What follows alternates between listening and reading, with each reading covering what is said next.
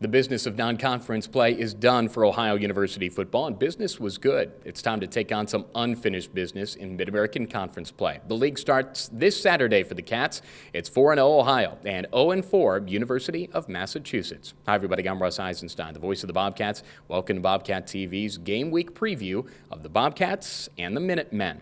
Non-conference play really couldn't have gone any better for Ohio. The Cats knocked off Penn State in Week 1, captured a bunch of national attention. That will continue with with an article in Sports Illustrated. Ohio rang the bell with another win over Marshall, and they took care of business in two take care of business games, knocking off New Mexico State and Norfolk State. If you take a look at the checklist of things to accomplish for the Cats, there's only one that's really left unchecked. After winning a bowl game last year, the next step is to win a MAC title course, Ohio is a charter member of the MAC. The last time they won the league was back in 1968. Three times they've won the MAC East, but three times they've been left longing at the MAC championship game. So after last year's loss to Northern Illinois, and with so much coming back this year, the team adopted the unfinished business motto, and maybe this year's the year to get it done. UMass is stepping up in competition. Their first year in the MAC, they come from 1AA, and they were in the championship game in that classification. Back in 2006, they lost to Appalachian State pretty good program.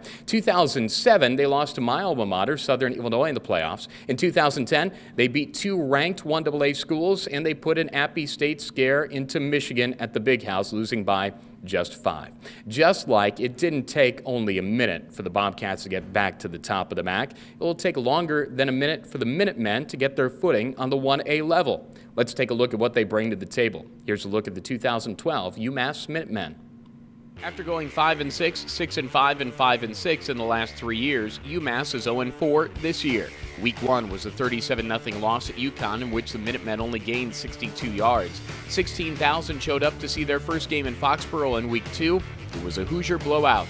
Indiana won 45 to 6. Charlie Molnar was a well-traveled assistant coach. He's in his first season as UMass's head coach. At 0 4, Molnar says his team needs to stop shooting itself in the foot. Right now, we're not good enough to really overcome our mistakes. So the self-inflicted wounds, regardless if we've reduced them, they're still out there. We've got to really, really work to minimize our penalties, minimize our mental errors, continue to play hard, and I think good things will start to happen for us. The Minutemen average just 258 yards per game and give up 485. They're even in turnover margin, giving it up nine times this year, but average 65 yards per game in penalties. They then outscored 172 to 35. 6'5 redshirt freshman Mike Wegzyn is their quarterback. Second down inside the red zone. It's a keeper. Wegzyn up the middle. He's going to go in, and UMass responds. Touchdown, Minutemen. Michigan transfer Michael Cox has been an offensive bright spot at running back. He averages 75 yards per contest and has two TDs. Both came at Miami last week.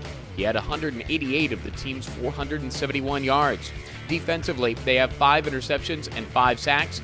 Senior linebacker Perry McIntyre leads their team in tackles with 38. It's the first meeting with Ohio, and Molnar says the Bobcats' Week 1 win got his team's attention. They know how good Ohio is. I think the Penn State game really was an eye opener for our players that don't quite know the Mid American Conference. I think that was a great wake up call to our football team that once we get through the preseason part of our schedule, when we get into the MAC schedule, uh, we've got our work cut out for us. The game is on ESPN3, but coverage on the People's Bank Ohio IMG Sports Network, powered by Horizon, starts off at the home of the New England Patriots at 2:30. Then we kick it off between the Bobcats and the Minutemen at 3:30. That's our game preview. It's Ohio and UMass, Week 5 of 2012. For Chris Sable and the rest of the Bobcat TV crew, I'm Russ Eisenstein. This is Bobcat TV.